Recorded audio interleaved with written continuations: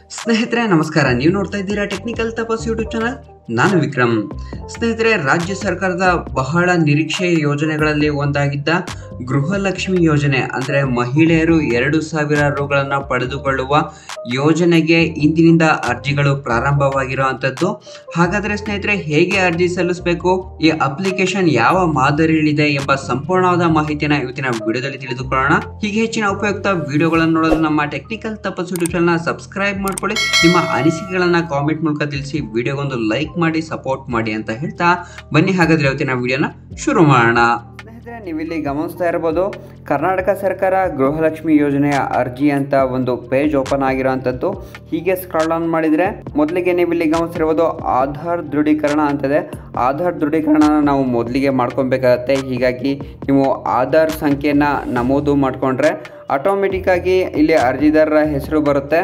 ನಂತರ ನಿಮ್ಮ ಪಡಿತರ ಚೀಟಿಯನ್ನು ಅಂದರೆ ರೇಷನ್ ಕಾರ್ಡ್ ನಂಬರ್ನ ಎಂಟರ್ ಮಾಡ್ಕೊಬೇಕಾಗುತ್ತೆ. ನಂತರ ನಿಮ್ಮ ರೇಷನ್ ಕಾರ್ಡ್ ವಿಧವನ್ನು ಅಂದರೆ A P L B P L ಅನ್ನೋದನ್ನ ಸೆಲೆಕ್ಟ್ ಮಾಡ್ಕೊಬೇಕಾಗತ್ತೆ.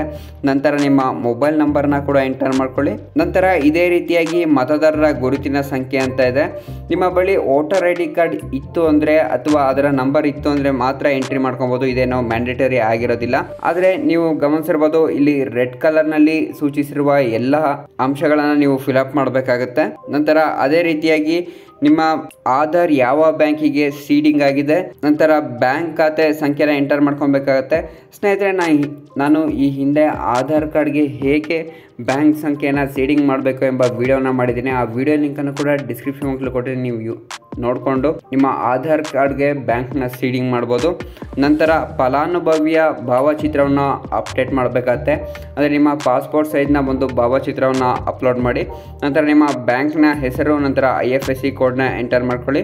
ನಂತರ ಅದೇ ರೀತಿಯಾಗಿ ಕುಟುಂಬದ ಸದಸ್ಯರ ವಿವರಗಳು ಅಂತಿದೆ ಇದರಲ್ಲಿ ನಿಮ್ಮ ಎಲ್ಲ ಕುಟುಂಬದ ಸದಸ್ಯರ ಹೆಸರು, ಅವರ ಜೆಂಡರು ನಂತರ ಪತಿಯೋ ಅಥವಾ ಪತ್ನಿಯೋ ಎಂಬ ಆಪ್ಷನ್ನ ಸೆಲೆಕ್ಟ್ ಮಾಡ್ಕೊಬೇಕಾಗತ್ತೆ ನಂತರ ಇಲ್ಲಿ ಪ್ಲಸ್ ಮೇಲೆ ಸೆಲೆಕ್ಟ್ ಮಾಡ್ಕೊಂಡ್ರೆ ಎಷ್ಟು ಫ್ಯಾಮಿಲಿ ಮೆಂಬರ್ಸ್ ಇರ್ತಾರೋ ಅವರ ಎಲ್ಲರ ಹೆಸರನ್ನು ಮೆನ್ಷನ್ ಮಾಡಬೇಕಾಗುತ್ತೆ. ನಂತರ ನಿಮ್ಮ ಪತಿಯ ಆಧಾರ್ ಕಾರ್ಡ್ ಸಂಖ್ಯೆನ ಕೂಡ ಇಲ್ಲಿ ಎಂಟರ್ ಮಾಡ್ಕೊಬೇಕಾಗತ್ತೆ. ನಂತರ ಮೊಬೈಲ್ ಸಂಖ್ಯೆಯನ್ನು ಕೂಡ ಎಂಟರ್ ಮಾಡ್ಕೊಬೇಕಾಗತ್ತೆ. ನಂತರ ಇಲ್ಲೊಂದು ಡಿಕ್ಲರೇಷನ್ ಇದೆ, ಅಂದರೆ ಘೋಷಣೆ ಇದೆ. ನಾನು ಅಥವಾ ನನ್ನ ಪತಿಯು ಆದಾಯ ತೆರಿಗೆ ಪಾವತಿಸುತ್ತಿದ್ದೇವೆ ಅಂತ ಒಂದು ಪ್ರಶ್ನೆನ ಕೇಳಿದೆ. ಹೌದು ಅಥವಾ ಇಲ್ಲ ಮೇಲೆ ಕ್ಲಿಕ್ ಮಾಡ್ಕೊಬೇಕಾಗತ್ತೆ.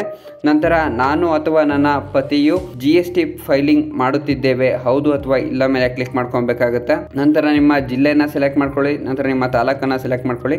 ಇದಾದ ನಂತರ ಐ ಅಗ್ರಿ ಮೇಲೆ ಕ್ಲಿಕ್ ಮಾಡ್ಕೊಂಡ್ರೆ, ನಂತರ ಇಲ್ಲೊಂದು ಕ್ಯಾಪ್ಚರ್ ಕಾಣುತ್ತೆ. ಕ್ಯಾಪ್ಚರ್ನ ಎಂಟರ್ ಮಾಡ್ಕೊಂಡು ಸಬ್ಮಿಟ್ ಮೇಲೆ ಕ್ಲಿಕ್ ಮಾಡ್ಕೊಂಡ್ರೆ, ನಂತರ ನೀವು ಈ ಅರ್ಜಿಯ ಫೈನಲ್ ಸ್ವೀಕೃತಿಯನ್ನ, ಅಂದರೆ ಎಕ್ನಾಲಜ್ಮೆಂಟನ್ನು ಪಡೆದುಕೊಳ್ಳಬಹುದು.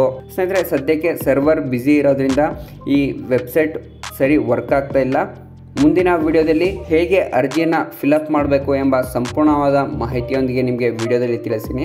ಅಲ್ಲಿವರೆಗೂ ಹೀಗೆ ಹೆಚ್ಚಿನ ಉಪಯುಕ್ತ ವಿಡಿಯೋಗಳನ್ನು ನೋಡಲು ನಮ್ಮ ಟೆಕ್ನಿಕಲ್ ತಪಸ್ ಯೂಟ್ಯೂಬ್ ಚಾನಲ್ನ ಸಬ್ಸ್ಕ್ರೈಬ್ ಮಾಡಿಕೊಂಡು ಸಪೋರ್ಟ್ ಮಾಡಿ ಅಂತ ಹೇಳ್ತಾ ಮುಂದಿನ ವಿಡಿಯೋದಲ್ಲಿ ಸಿಗೋಣ. ನಮಸ್ಕಾರ.